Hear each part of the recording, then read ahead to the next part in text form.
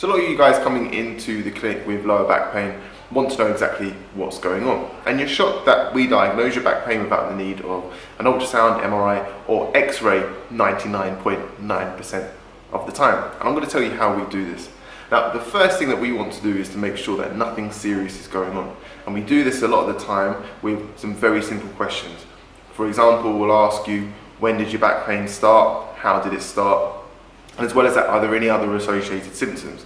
Now, if you say something like, I bent down to pick something up, or that I've had back pain on and off for a few years and it tends to relate to my movement, or that it gets worse when I'm sitting or standing or things like this, then we can kind of, we can get a really good idea that your back pain is mechanical, i.e. it's aggravated by a mechanical load and it has a mechanical origin. Now what this means is it's less likely to be something which would be more serious be that cancer, for example. If you'd come in and you said that you had back pain that's worse at night, that is associated with night sweats, that you've lost a lot of weight, and that you've got this general feeling of, or general sensation of feeling unwell, or that you can't find a position where you're comfortable, then we'd start to flag up the possibility that this was something a little bit more sinister and we'd refer you back to your doctor. But then also when it comes to the mechanical and we've you know, judged that it is mechanical, we can then dig down a little bit deeper as to what mechanically is causing your, your pain, i.e. what is the source of your pain. I'm going to show you how we do that. Alright, so we've got Rachel Weech here who's my fellow osteopath at the Revitalize Clinic. I'm going to show you a quick examination.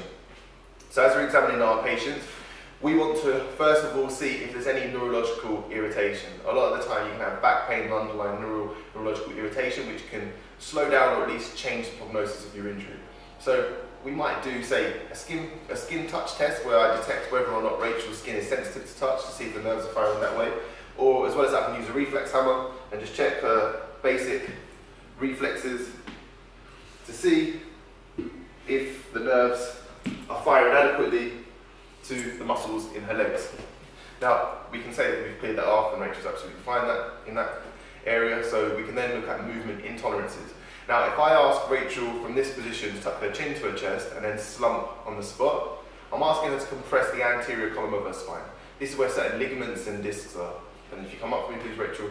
And now from here, if I ask her to say, look up and stick her chest and her bum out, and then from there, I'm now asking her to test or to load the posterior column of her spine and relax. But all of this is done from a seated position, so there's not much load involved. But if someone, say, for example, experiences pain while they're sitting, then this can be quite applicable to them. But for a lot of individuals, they need a little bit more load to aggravate their pain. So we go into a stand, we go into a standing examination. So from here, I can test Rachel under a little bit more load. So if you want to face this way from me, Rachel. So from here, once again, I can test the posterior column of the spine where the joints and certain other tissue is by asking her to place her left hand at the back of her leg.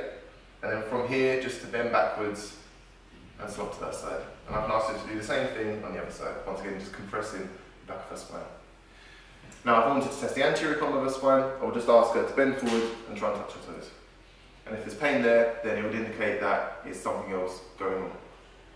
Now, as well as this, if I get her to sit again, I can go through another test to test for neurological tethering. This is some, one test that we use quite a lot with sciatica. So from here, I'll just ask Rachel to slump on the spot and to try and take her foot to the ceiling of the affected side. And then I'll ask her if it's painful. And if it's painful, I can just ask her to go back to that position again and then look up and see if looking up eases the tension. If looking up eases the tension and the discomfort reduces, then it would indicate that there is some sciatic tethering and that needs to be addressed. So just to summarise, first of all, we make sure there's nothing serious going on. Second of all, we find out what positions you're intolerant to and uh, also what tissues might be affected.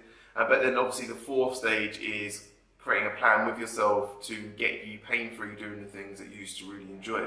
Now, it's useful a lot of the time to look at these tests as exposing intolerances rather than exposing damage.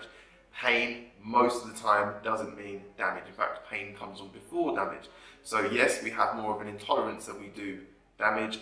We then look with you to help to help you to improve on your movement to reduce these intolerances to movement. It might be, for example, you going from not being able to bend down and touch your toes to you being able to do a squat, which incorporates some flexion in, in the back, or some stretches which incorporate some flexion throughout the spine. And after that, we can then move you on to more advanced movements that would then be more specific to you bending forward and touching your toes. After we can do that, then we're on our way to getting you pain free. If you need to talk to us at any time, ask any questions, then feel free to go to our website, book a free consultation with myself, and we'll create a plan for you to get you pain free as soon as possible. Thanks for watching.